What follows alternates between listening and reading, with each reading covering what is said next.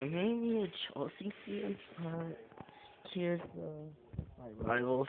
Particularly drew with Theo Walcott, the England international.